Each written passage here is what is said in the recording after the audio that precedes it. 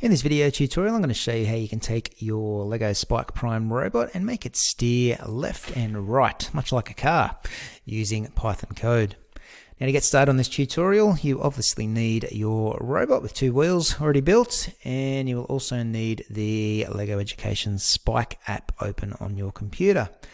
Once you've got that app open, make sure you click on the new project button in the middle of the homepage and give your project a name such as steering left and right.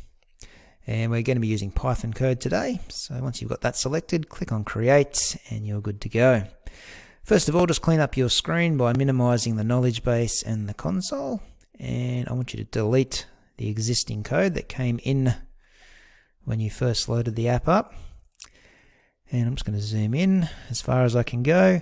And finally, the last thing I want to do is make sure your robot is connected to the um, computer. As you can see, mine is connected by having the blue ring around the hub there, which means I'm connected via Bluetooth. You can also see the motors and the sensors are connected to those different ports as well. So make sure your robot is connected to your computer. And once you've done that, you are good to go with your coding. So we're going to start by writing in line number one from Spike import motor pair. Now you probably somewhat remember from the previous video that this line of code is simply saying we are importing the motor pair module from the Spike library. So the Spike library is just a whole chunk of code, a whole stack of code written by some other smart dude and we are importing the motor pair module, which is going to allow us to control the wheels or the two movement motors together as a pair, which will get our robot moving around nicely today. Uh, the next line of code is telling the computer which ports our movement motors are plugged into. So first of all, you need to come up with a name for your wheels or your movement motors. I'm going to stick with the same name I always use, which is movement underscore motors. Whatever name you come up with, it has to be one word. It doesn't have to be movement motors. Another popular choice is wheels. Um, it's up to you though. And I'm going to say movement motors equals motor pair and just tell the computer which ports your two wheels or two motors are plugged into. Mine are plugged into A and B as you can see at the top here. I need to write it as B comma A though, so my robot will drive forward. And if you're plugged into ports A and B, I'd imagine you will have to do the same thing as well. I'm not sure why um, that Lego Spike app does that, but we pretty much have to have them in reverse there to make sure that they are moving forwards. Um, I might put a comment in there that just says set up the movement motors, which are the wheels. Remember, comments are just plain simple English. They are ignored by the computer. They're just there to explain to others who are reading our code uh, what's happening in our program. Okay, so we know what ports we're plugged into. The next thing we're going to do is write the name of our movement motors again. And this time we're going to do a full stop instead of an equal sign. So movement motors dot and we're going to write set default speed with an underscore between each of those words. We're just going to set up the speed for our motors. Remember this speed can be anywhere between 0 and 100%. I'm going to go with 50. So it's moving at half speed. And I'm going to put a comment in after that that just says set the movement speed of the motors.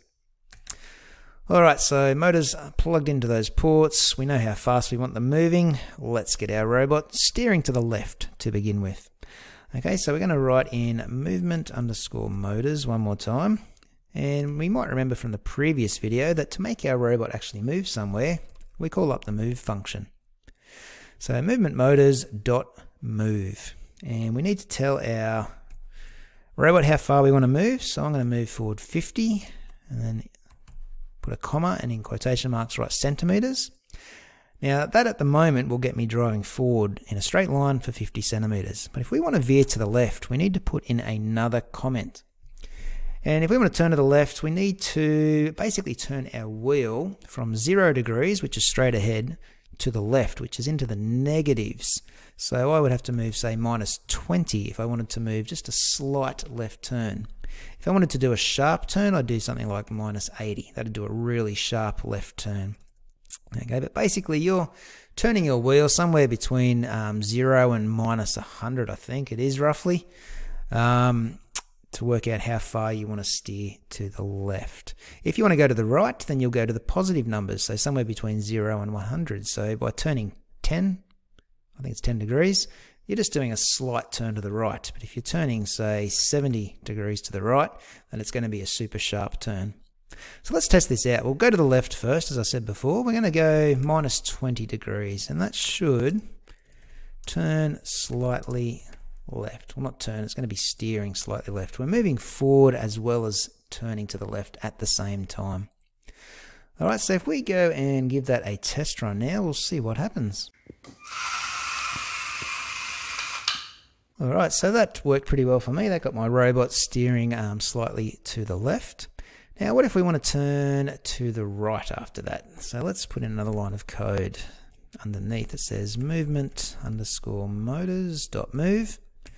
We'll still move forward 50 centimeters, just to keep it simple. And let's do a sharp turn. Let's go about 70 degrees to the right.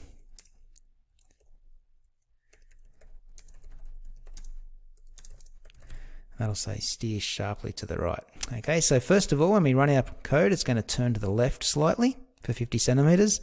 Then we're going to move forward another 50 centimeters, but this time we're going to be turning pretty sharp to the right. It'll almost make a circle, I'd imagine. So let's give it a run and see what happens.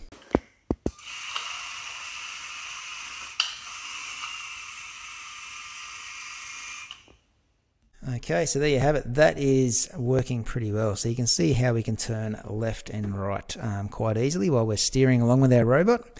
Now, one other thing I might show you before I go is let's try a little bit of a challenge here. Let's try and get our robot to draw a circle.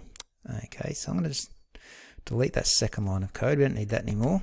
What I'm going to do is adjust this first line of um, movement code. So instead of moving about 50 centimeters, let's go. I have done this before, so I'll give you the answer. I'm going to go forward about 58 centimeters, and I'm going to turn to the right at 70 degrees. Okay, and I'll change my comment here to say drive in a circle. Oops. All right, so that's that's it. That's a pretty simple code to make our robot fling around in a circle. So let's give that a crack and we'll see what happens.